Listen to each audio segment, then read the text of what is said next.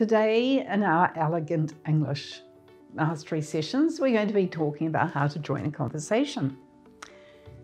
Are sometimes you afraid to enter into a conversation? Sometimes you can be nervous about what to say when you enter into a group or even with an individual. So some tips that we can share with you today is how can I feel comfortable about entering a conversation?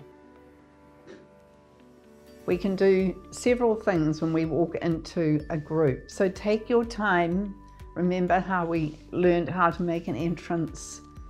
Introduce yourself and you may say, for example, may I join you?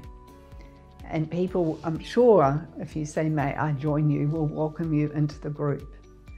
And other comments you can make or words you can use is how are you today? Or how was your trip here? Are you enjoying this restaurant?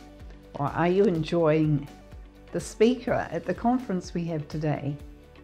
So joining conversation is just being confident about that first step you take. And if you use that expression, may I join you, you will find that that makes it really easy to continue the conversation. The other important tip is when you're having the conversation, use open-ended questions. So instead of having a question to someone that they can answer yes or no, it's better if you have a question that they need to keep talking. And once the conversation starts, you will find it will keep flowing along.